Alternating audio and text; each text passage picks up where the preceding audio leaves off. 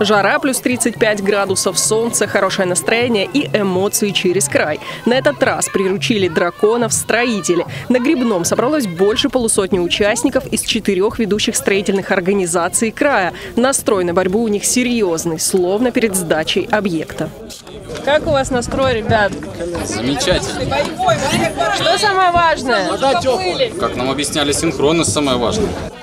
В каждой команде по 8 грибцов, есть также рулевой и барабанщик. Строители-спортсмены настраиваются на гонку по-разному. Лодки конкурентов плывут. Если рядом, веслом толкаем. И вот начались старты. Участники выкладывались по полной, что называется, дышали друг другу в затылок. Это было круто, очень круто.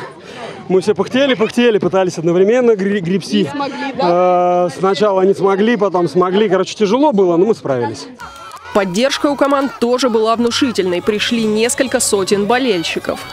Супер классное, настроение отличная, погода отличная, ребята все молодцы, борются, прям на зубах до последнего гребут, победит сильнейший.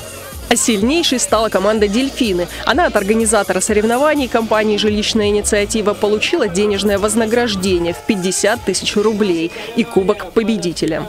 Давайте поздравим всех с Днем строителя, пожелаем всем крепкого здоровья, барнаульцев, строителей жилищной инициативы, строителей России. Поздравим с этим великолепным праздником, пожелаем всем самого-самого лучшего. Мы строим город, в котором хотим жить и будем жить.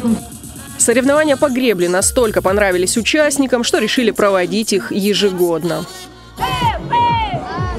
И есть, есть победитель второго заезда.